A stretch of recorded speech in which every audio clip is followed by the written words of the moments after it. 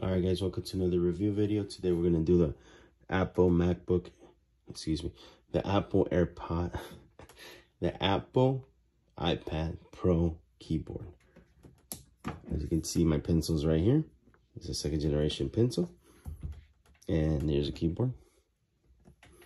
Do I like it? oh, yes, I love it. I love my Apple products. I'm not, I mean, I love anything that works, not just Apple. If it works, it makes my life easier. I like it. The only reason I have this keyboard is my wife bought it for me. Uh, yeah, my wife buys me everything. She has the credit cards, the debit cards I'm not allowed to touch. But she is. just kidding. Uh, she bought me this keyboard with for my iPad Pro just because at the time my computer wasn't working. So I thought I would use this for my computer. At the end, we ended up fixing it. But I'm going to show you guys my password. Look. Backwards L. You guys got it. So what I like about this keyboard is basically just like an Apple MacBook keyboard. You go, that's my canvas. Let's go to Safari.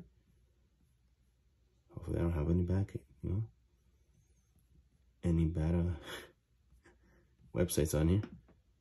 Let's try Google.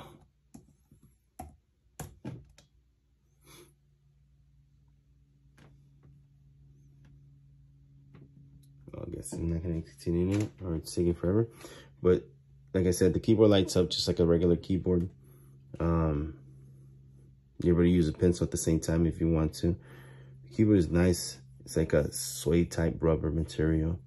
It's really cool. I like it. And then if you want to take your iPad off, just lift from the bottom.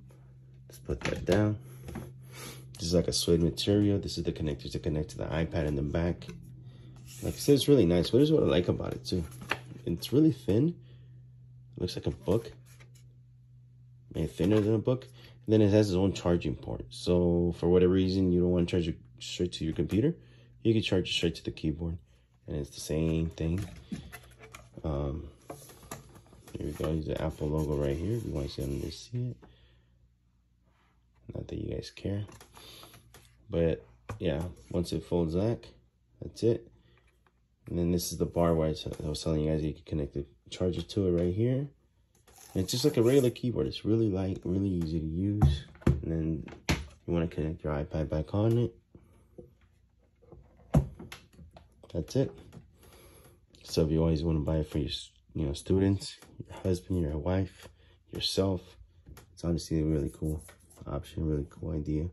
And like I said, it's just like using a regular computer. The keyboard lights up and everything. Uh, trackpad's pretty nice. And I notice is that once you take the computer, the iPad off, the keyboard lights off. So I don't think the keyboard actually has its own battery or anything. I think it just takes the battery power from the iPad source. Um, hello, hello. I guess my iPad pencil doesn't work there. But you know what I mean. And then, yeah, it's an Apple iPad Pro keyboard.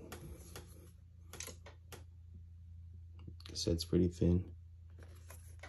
I mean, now it weighs a good amount because the iPad's on there, but besides that, it's pretty, pretty light.